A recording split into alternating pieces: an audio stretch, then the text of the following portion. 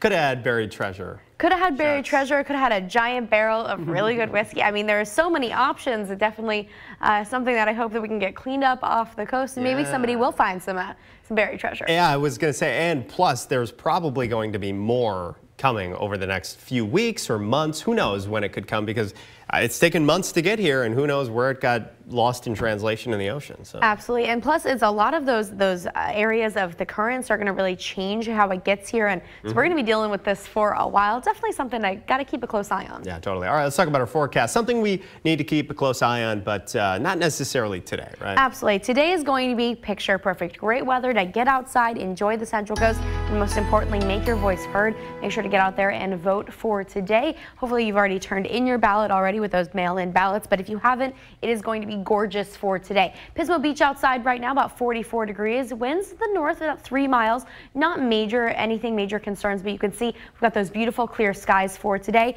and especially if you're comparing what we're seeing right now to what we're seeing yesterday, a whole lot less energy for those waves. So good news there if you're heading out towards those beaches and want to surf. Now, as you're heading out the door, grab that extra layer. It's definitely cold, especially in those interior valleys. Only 31 degrees right now in California Valley, 39 in Santa Maria, 52 in Isla Vista, and 36 degrees in Paso Robles for this morning. Just grab that extra layer. You won't need it for too long, though, so good news there. We do have one area of concern with some limited visibility. That's in the Santa Ynez Valley, where those visibilities are just about one mile at this point. It was less than a quarter of a mile just a couple of minutes ago, so we are starting to see improvements, but you are going to notice some limited visibilities, especially on 101 near Buellton.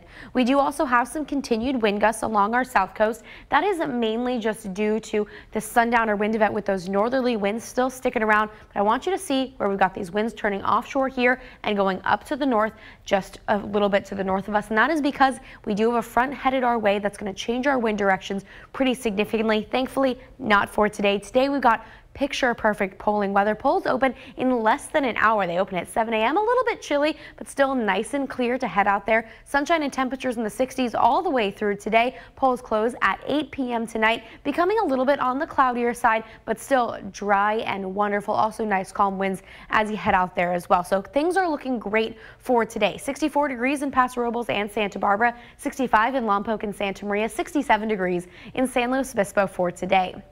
Along our north coast, 60 in Cayucos, 65 in San Miguel, and 66 degrees in Avila Beach. In the five cities region, really comfortable as well. Nipomo at 64, 63 in Shandon, and 62 degrees in Pismo Beach. And along our south coast, great conditions as well. Goleta at 66, 62 in Vandenberg, and 63 degrees in the Cuyama Valley for today.